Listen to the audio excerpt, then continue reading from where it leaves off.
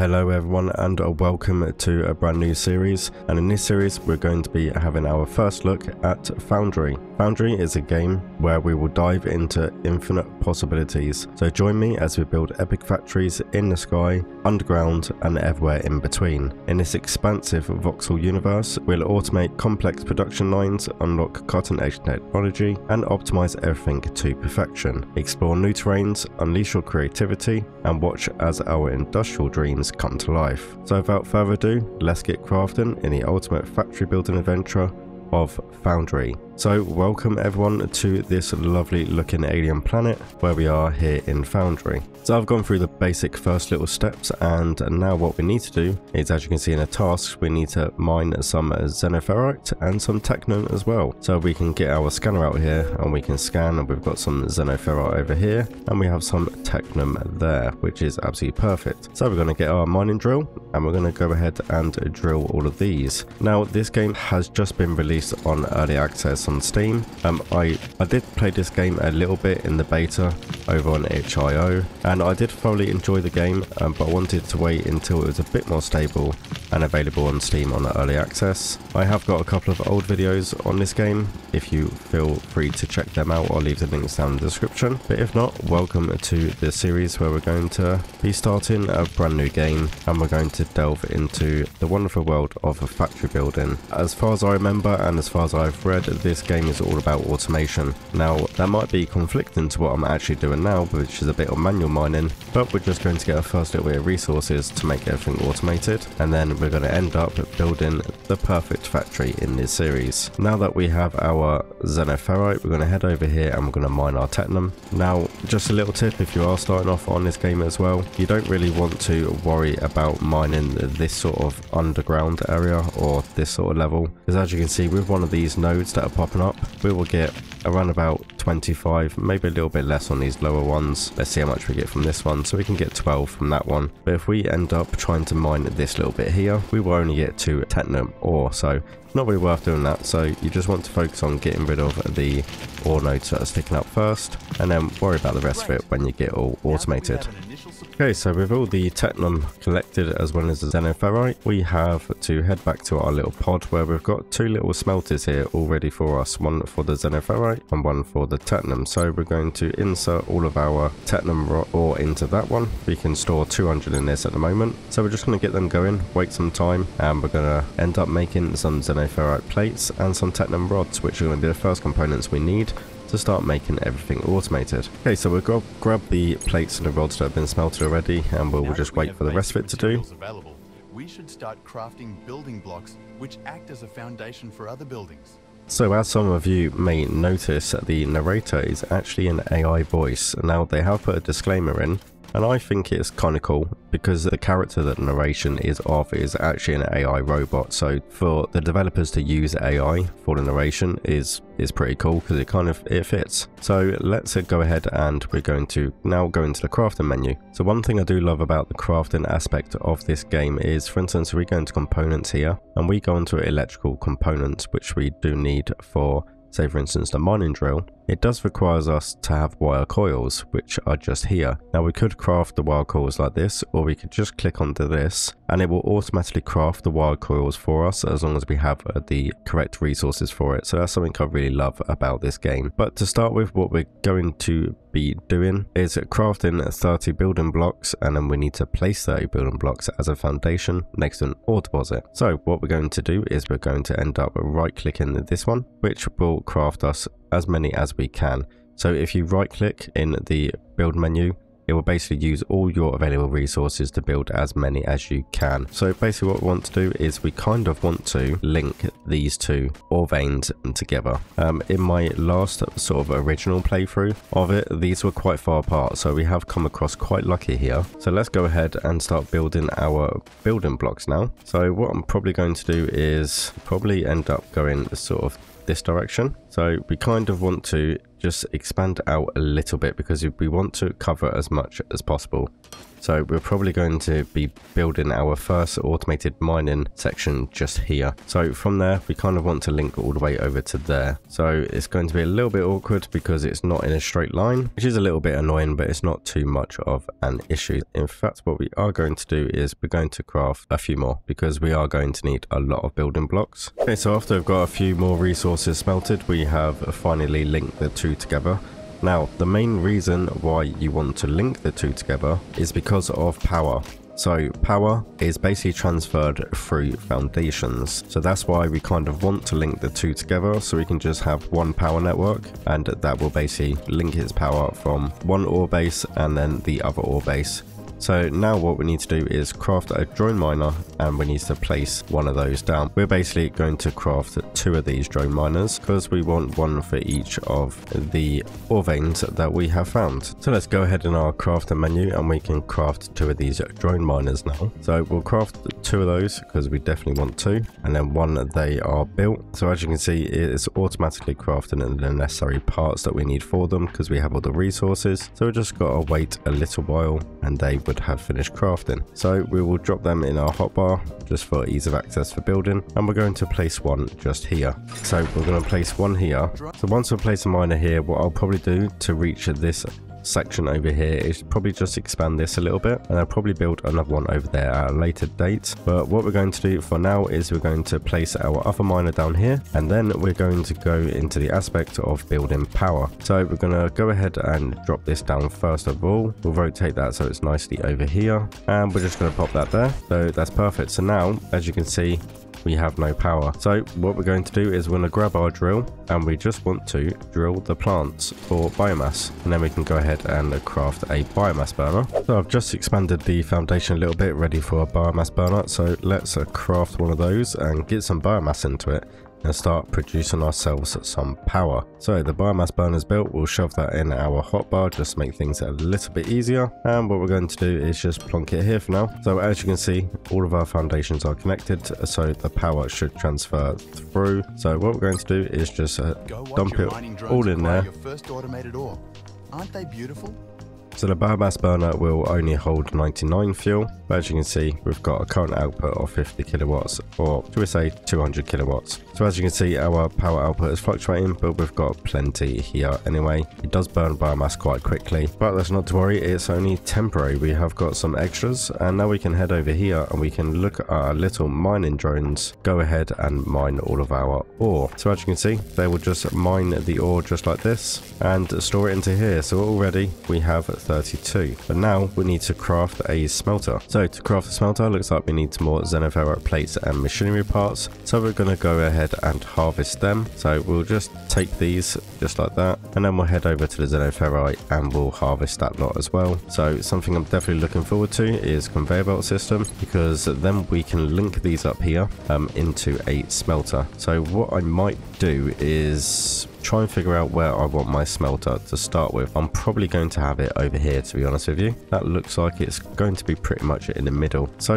I'm going to clean some room and we're going to need some more foundations as well so we'll just leave the miners going for a bit and then we'll go ahead and stock up on some xenoferrite plates and technum rods we'll get a nice foundation built ready for our smelter so you may notice something a little different i've um yeah built quite a few foundations it took me a little while but we are pretty much all ready although we only need to place one smelter i'm going to craft another one because each smelter will be needed for each type of ore. So while the other one's crafting, we will get this one built over here. We're just going to put it in line with our little miners. We're just going to pop it here for now, just to give us a little bit more room.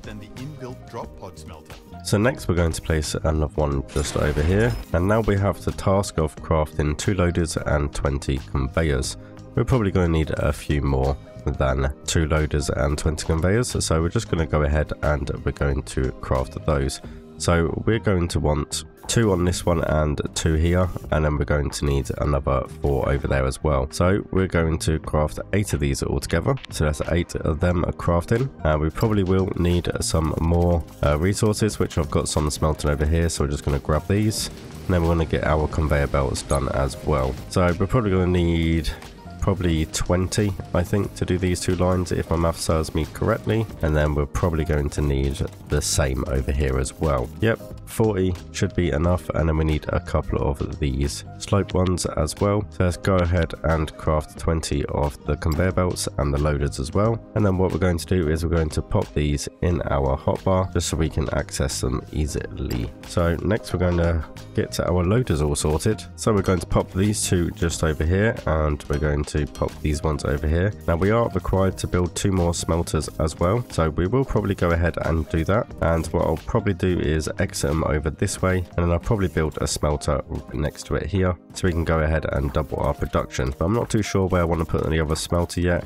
I kind of don't want to obscure two loading bays. So we're going to head over here and we're going to get our loaders set up over here. Now the one thing I do like is when you put a loader onto an output, it does automatically make it an output, so that's quite handy. Just going to rotate this conveyor belt, we're going to pop that one there. So now if we have a look over here, it's automatically distributing our ore straight from here and our miners will keep working. This only has a capacity of 200. So we're going to go ahead and we're going to set up our smelter, which has automatically set up and it's automatically producing content over here. Now what we're going to do is go and set up the other side, get the conveyor belt set up there, and then we should be ready to rock and roll. So we're going to get a upstream loader here or conveyor belt just there and then we're just going to connect these up and then we're just going to pop them this way and that will make sure that this input is automatically distinguish and we've got Technum ore going into Technum rods. So perfect, so now we need two more smelters. So I'm not exactly sure, I might go sort of this way um, and kind of spread this out a little bit just so I can fit a couple of loaders in. We are going to need two more smelters, so we'll get them crafting We'll go and pick up these other resources and then we'll figure out where we're going to put the other smelters. Uh, we haven't got many resources, but that shouldn't be a problem. Now we've got smelting automated, we should be good to go. We will select our smelter here. We'll put the panel at the same side, so we know the loaders take up two blocks, so we want at least that space there. So I'm going to go ahead and pop that one there. Uh, we are going to need some more loaders and everything like that. So let's figure out where we're going to put this smelter over here as well. So this smelter I'm going to place just here. I'm going to expand the foundation here. So we're going to go ahead and grab ourselves some more ore from our smelters. And we're going to get these smelters as well loaded up and ready in production because we're going to need as many resources as possible. So we're going to grab these. Okay, so we've got our second smelters all set up, as you can see here. I just grab some resources. I just noticed on the way past that we are at near enough our max capacity on our biomass burner and we need to stock this one up. So we'll stock this one up and I think it's time we built another one just to make sure that we have enough power to keep our factory going. So that should be built any second now and then we can just place this one right next to it. We can fill this one up with biomass and there we go. We have a little bit less fuel usage on each of them because we're kind of spreading the power across both of them. So that's pretty good. And next we need to place a research center center. So let's go ahead and see what we can find on research server. So looks like we need, oh, we have enough resources to craft it at the moment. So we can craft that and then we just need to figure out where we want to put it. Now I'm thinking about putting it over here, sort of in the middle, um, out the way, but still within access of our smelters because for the research center, what we're going to be needing is plenty of resources and automation. So we're going to probably end up having assemblers and bits and pieces as well, which we kind of want this middle bit for for now. So probably going to get some foundations built, expand this sort of, fill this nice big gap here, which might take a little while to gather the resources, but that's not an issue. And then we'll go ahead and get to our research center placed down and we'll see what we need for that. So there we go, our foundations are all complete. So let's go ahead and get our research server down and into place. So I think what's probably going to be best is to place it sort of in the middle of the two, hence why I built this so sort of big in regards to the foundation. So I think we're going to pop that just there. Okay, so now we have to have a look at this. So we're going to go to the research researcher interface. And as we can see here, we have a nice big research tree. Uh, looks like there's plenty to research. So it looks like we've got our work cut out with this lot over here. But first of all, we need to research the emergency beacon which requires three science packs. So we can craft them manually by hand. So we're going to go ahead and do that first. We will need some more resources. So we're just going to go to the smelters. We're going to grab ourselves some resources and hopefully we should have enough to grab them. So we need three of those at the moment. We'll just do five um, just because it's easier to right click and just do a nice round number of five. All right, we have our three science packs crafted. So we'll just pop them in there like that. We're going to go ahead and go to our research interface and we're going to start the research on the emergency beacon. So that shouldn't take too long. It looks like our progression bar is going up quite quickly. It takes about 15 seconds, so that shouldn't be too bad. And then we will unlock access to the assembler and also character improvement. So it looks like we've got a new resource over here, which is ignium, and we've got a second lane loader. Okay, so I did, did like them when I played it beforehand. Got it. So looks like we've research is complete. Beacon blueprint. Those rescue parties tend to land right on top of the beacons.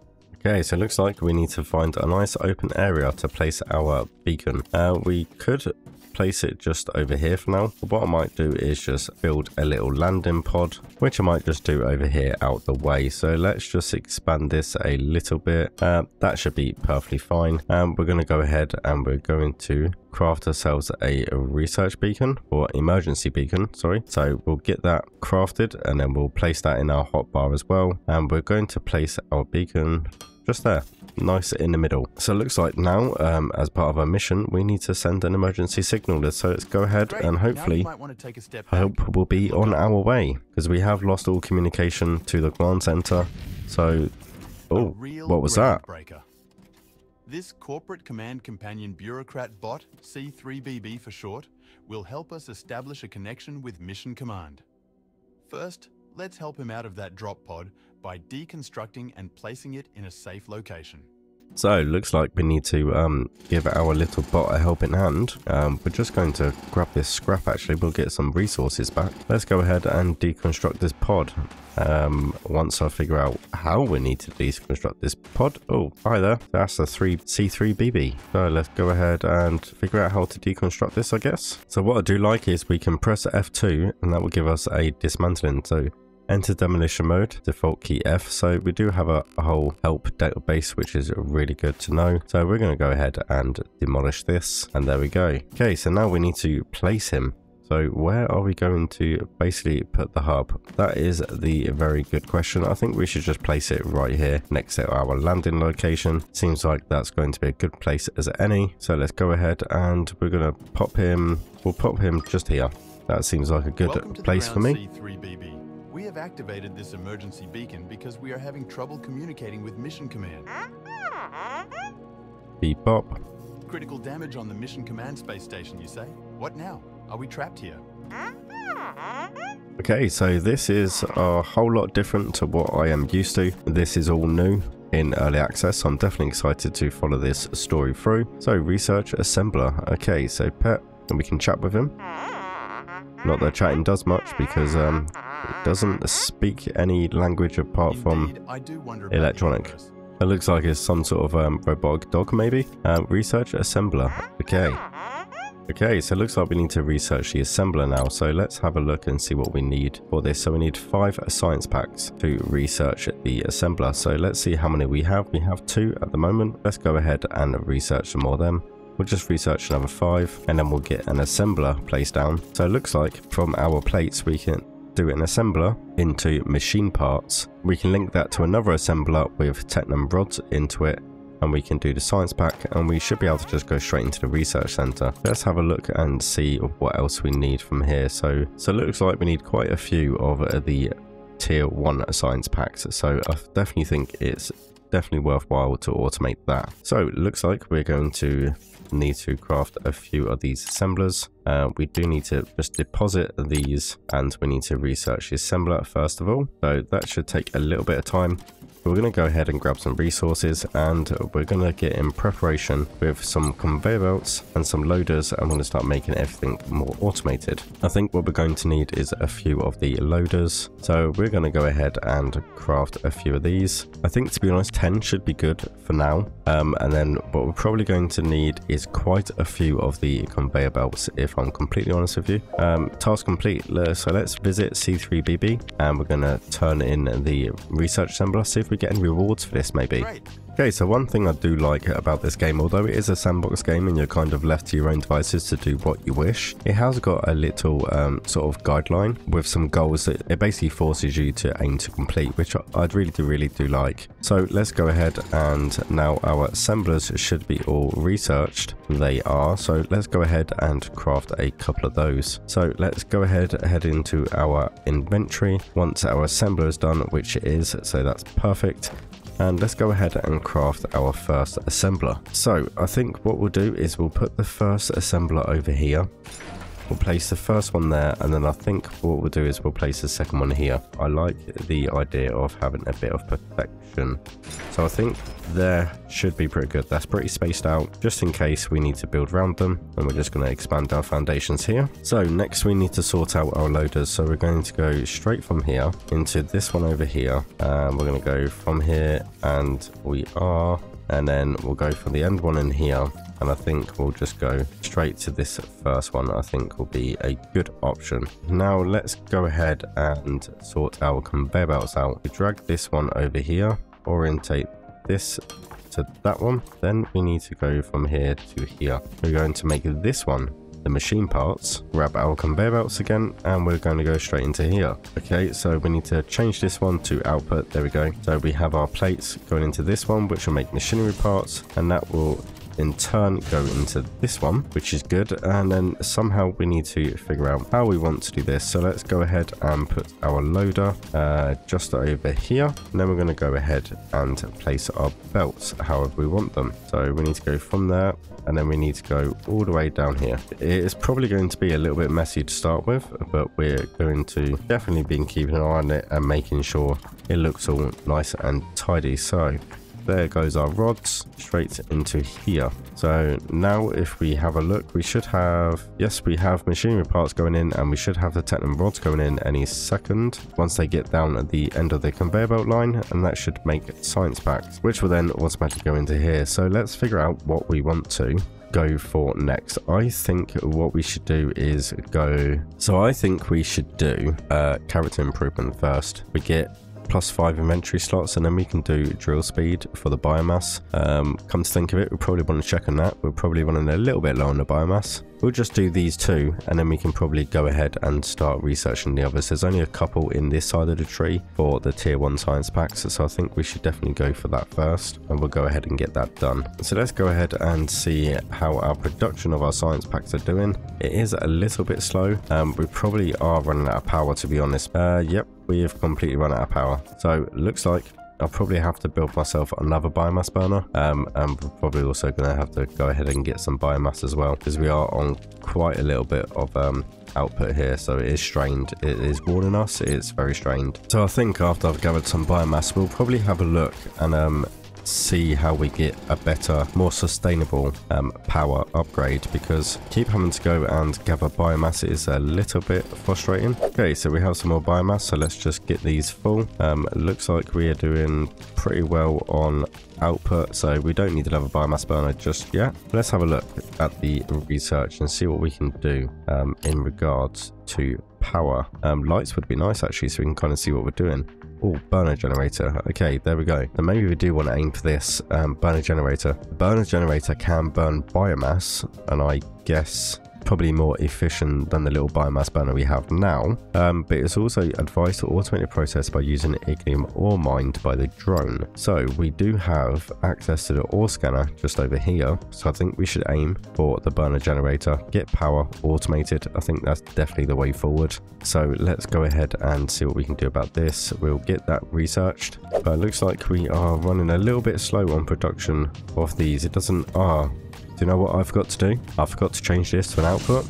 So there we go, we've changed that to an output now, so now it should be distributing these into the research center. So that's pretty good. I like where we're going so far. So we're going to wait for this basic infrastructure to um, burn down. Uh, hopefully it shouldn't take too long to get some science packs. We do need 20 for the burner generator, so that might take a little bit of time, but I'm not too worried at the moment. Let's see what we have here. Container can't be automated with loaders or unloaders. Um, okay, that's a little bit of a shame. So let's go ahead and see what else we have in the basic infrastructure. So we do have a logistic container. Um, let's see where the first version of that is. Uh, we've got basic infrastructure over here. Uh, looks like we've got logistic container too. So yeah, we've quite a way off that. Yeah, I think our main focus should be the burner generator. So we're going to do the ore scanner straight after. That's 15 science packs. So looks like we're going to um, be waiting a little while for this. Hopefully it shouldn't take too long, but for you guys to know what we can do, we can just, uh,